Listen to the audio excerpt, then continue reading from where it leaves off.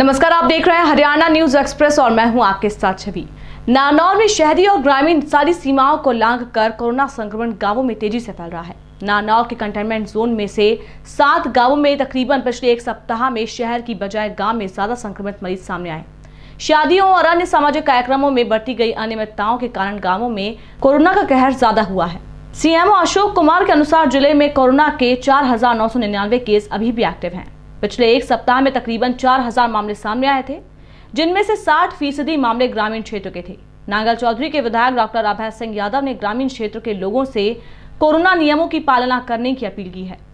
नारनौल से हमारे संवाददाता गुलशन कुमार की रिपोर्ट। इस बार इस बीमारी का प्रकोप गाँव में बहुत है और गाँव में एक एक गाँव में काफ़ी काफ़ी केसेज आ रहे हैं। और अभी भी जो इस महामारी के लिए जो सावधानियाँ बरती जानी चाहिए, उनमें गाँवों में अभी भी कुछ कमी है। तो मेरा सभी लोगों से निवेदन है, विशेषकर जो गाँव में बसे हुए लोग, उनसे निवेदन है कि इससे बहुत सावधानी से रखें, रहें और इससे बच के रहें। और जितना मैं पहले भी निवेदन किया था कि जितना दूर रहोगे, इसके फैलाव को रोकोगे, उतना ही बढ़िया है। मतलब इसका परहेज बड़ा आसान है, इलाज और बीमारी में काफ़ी तकलीफें होती हैं। तो यही मैं आग्रह करता हूँ सभी